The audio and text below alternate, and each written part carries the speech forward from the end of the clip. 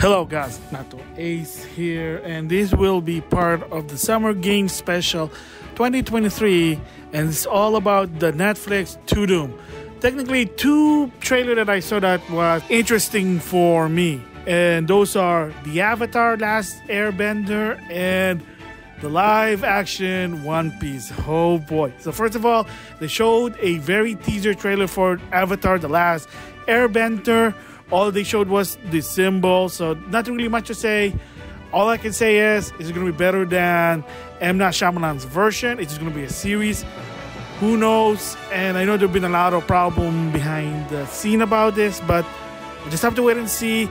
It's going to be 2024, so nothing much right now.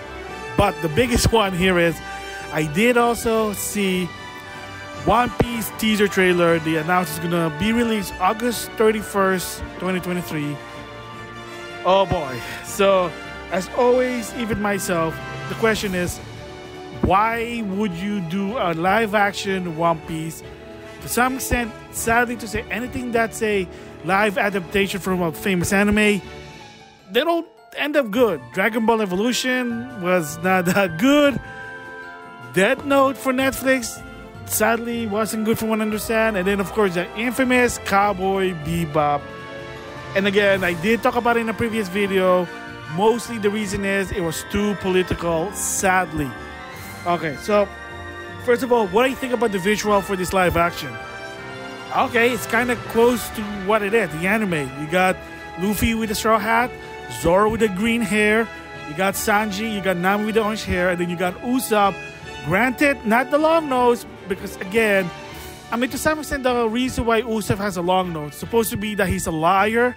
So if you know your lore about Pinocchio, that's the reason why. But again, converting from an anime to live action, to some extent, that doesn't work. So they just said, you know what, we're just gonna have a normal nose. So again, you have to understand that this is a live action. Second, has nothing to do with the anime. Think of it as a different universe, a multiverse. So it's another timeline, another story just trying to stick to that one. I think you should be fine. Story wise, I don't know. Okay, I saw how Luffy acts. Does he act like Luffy in the anime? As of right now, doesn't look like it. Maybe it's more logical than what Luffy's supposed to be because the guy's supposed to be an idiot and he can't lie. But again, it's a teaser trailer. I saw Zoro's sword skill. Okay, makes sense. They show a real live action Buggy the Clown. I don't know. And it reminds me of maybe the Joker or or it, that horror clown. Again, who knows? The ship, the environment. Okay, I have to admit, it is sort of looks like what the anime is.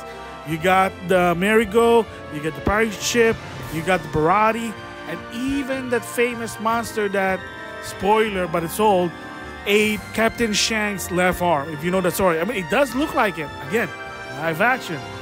The tricky part here is it is live action, but it also has that design to some extent that from the anime. They sort of did it with Cowboy Bebop. That's also one of the bit of the trickiness there, and that's what's like, okay, Daniella Pineda as uh, Faye Valentine, not even close. But of course, you see Ed. Oh my gosh, to some extent, it's almost one to one as the cartoon. Again, weird, but it is what it is. Who knows? So a lot of the concern is the people behind it. So first of all, the production is the same as Cowboy Bebop, so that's probably going to be a concern there. And then of course, live action. A lot of people already are tired. They're burnout. Every time we do a live action, it doesn't work. But you might say, how come Bleach work? How come Attack of Titan work? How come Yakuza work? Etc. Etc. Etc. I don't know. This is something about the Japanese doing live actions probably works than Hollywood. Again, I don't know. Maybe the political issue. I don't know. So that's another thing we're going to talk about. This movie cannot have political issue. Just be like the anime, follow the anime source material. You should be fine. The problem with Cowboy Bebop is, and a lot of people admit, even the creator said, I have no control. And they went to a different approach, different direction, and they went political. That was the problem. A lot of the characters were changed that unnecessarily, and people couldn't watch it. I even tried watching it. I'm like, ugh. So story has to be close to one to one to the source material. Just let it be a live action version of One Piece. No political, no changes. It is what it is. From what I understand, that this series is gonna go all the way to the East Blue. So I'm gonna guess along with Arlong. The question is, how many episodes? How long will it be? That's also the tricky.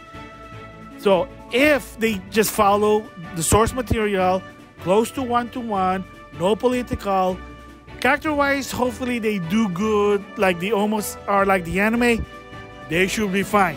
Is it gonna be like better than the anime? No, it's in any case, adaptation it's never gonna be always to some extent, I know it's weird, better than the original, but it can be good. And an anime that worked and a lot of people did like it. Battle Angel Alita. Yeah, granted with the character with the big eye, that was just that's way too that's way too much. But again, it worked. A lot of people said the story was good. If they followed that like that movie, they should be fine there. So, bottom line, is it gonna be good? I don't know. Did it have potential when I saw the teaser trailer? Not so much yet, but I need more time. Again, it's gonna be end of August. So hopefully that yes, that hopefully it is gonna be good, but who knows? So there you go, my thoughts on One Piece and the Avatar. Avatar teaser trailer, nothing much to say. In the case with One Piece, right now it does sort of like okay, maybe it might have a chance, but that's a slim chance. If they don't do political stuff with it, and again, and also I almost forgot, Oda has also control versus, like I said, Wada, the creator of Cowboy Bebop, he had very minimum control to a point that they were even ignoring him. So that's wrong. Kind of like what happened with The Witcher. That's why people are crapping on The Witcher because they deviate from the source material. You can't do that. You gotta stick with the source material. You can do some minor changes, but that's it. Just gonna say that. So hopefully for the best. At least they got opportunity jobs for those actors. But we'll just have to wait and see. Uh, those are my thoughts. And with that, I'll see you guys later.